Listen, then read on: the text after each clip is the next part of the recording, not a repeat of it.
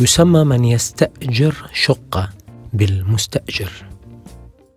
تسمى الشركة التي تمتلك وتؤجر المساكن بالمؤجر. من المهم أن يكون لديكم عقد أو اتفاقية استئجار بينكم وبين المؤجر. تأكدوا بأنكم متفقون على ما يتعلق بالمسكن وبأن كلا الطرفين لديهما نسخة موقعة عن عقد الإيجار توجد أنواع عدة من عقود السكن يعني عقد الإيجار الأولي بأن تستأجر شقة من المؤجر مباشرة ويجوز لك بالسكن فيها لمدة تطول حسب الرغبة. الاستئجار بعقد ثانوي يعني بأن تستأجر من شخص لديه عقد أولي للشقة. إذا رغبت بالاستئجار بعقد ثانوي يتوجب عليك أن تعلم بأن المؤجر الأساسي موافق على الاستئجار. يمكنك أن تكون نزيلا.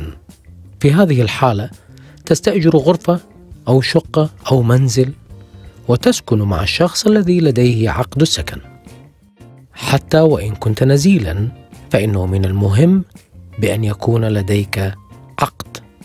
في حال رغبتك بشراء سكن غالبا ما تدفع أنت جزءا من كلفة الشقة وتقترض الباقي من المصرف.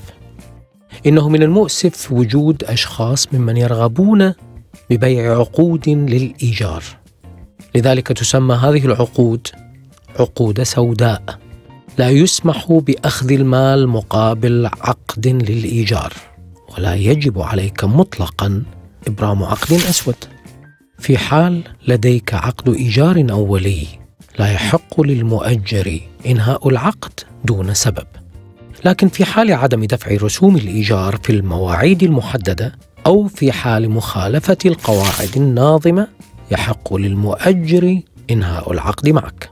في حال لديك الرغبة بالانتقال غالبا ما تكون المدة المعطاة لإنهاء العقد ثلاثة أشهر ولكن قد تكون أقل. تأكد دائما من بنود العقد.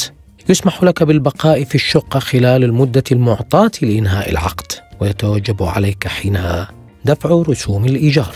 يجب أن يتم التبليغ بإنهاء العقد كتابيا ويجب أن يكون موقعا تأكد من حصولك على تأكيد التبليغ بإنهاء العقد الذي قمت به في حال لديك عقد إيجار ثانوي أو عقد كنزيل يمكن للمؤجر أن ينهي العقد.